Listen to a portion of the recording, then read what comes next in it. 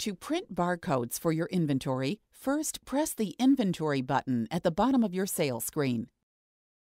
Now, press the Print Labels button in the upper right of the Inventory Maintenance window.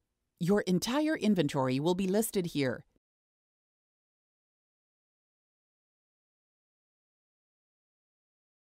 If you need to print a specific item, press the Go to Item button.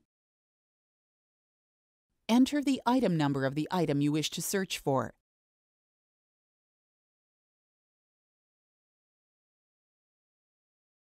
Then select that item from your inventory list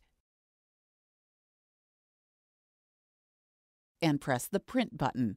To print barcodes for your entire inventory, go to Options and select Mark All.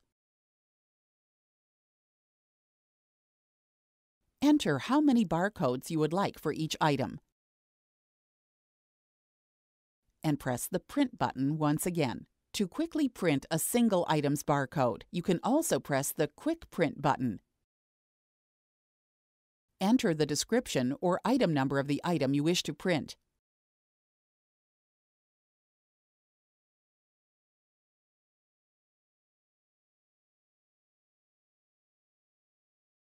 Enter the quantity you wish to print for that item.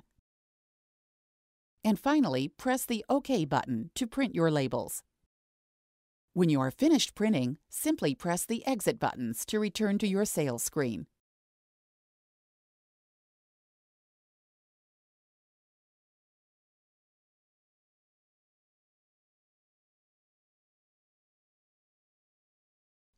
To reprint a receipt from the last transaction, simply press the Options menu and then the button labeled Print Last Receipt.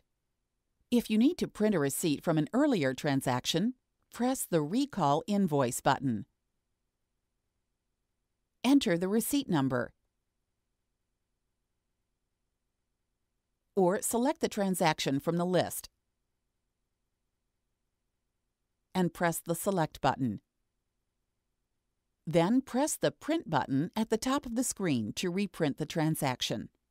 Once you have the receipt, press End Display to return to the sales screen.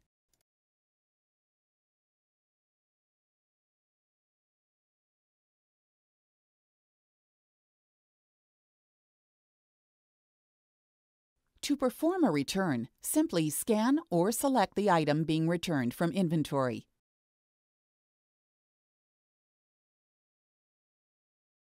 Then press the Quan Change button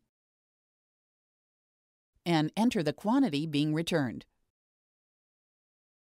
Finally, press the Positive Negative button to indicate a negative quantity and press OK.